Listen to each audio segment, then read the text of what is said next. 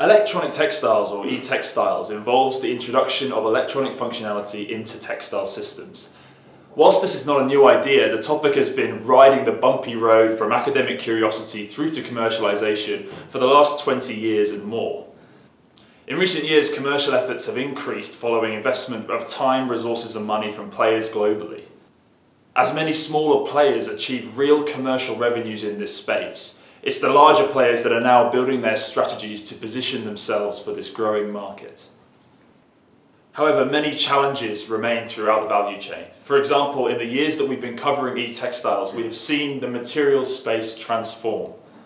This chart shows the effects of new fibres, textiles, polymers and inks as they begin to enter commercial circulation amongst over a hundred different players.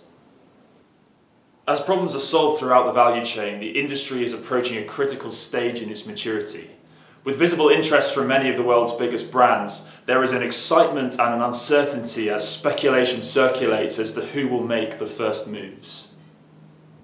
In order to cut through some of this uncertainty, we have spoken with over 100 different companies involved throughout this space. IDTechEx's report on the topic contains company profiles, interviews, and information gained as we travel the world, attend and organise events, and visit players active in this space. We have compiled this information into a comprehensive report including descriptions of the technology, market and competitive landscape in e-textiles. Finally, we've produced market forecasts, collating and quantifying our research to provide a scenario describing how this industry will change in the next 10 years. For more information about this report and our research, please do get in touch with us directly or view the materials available via our website.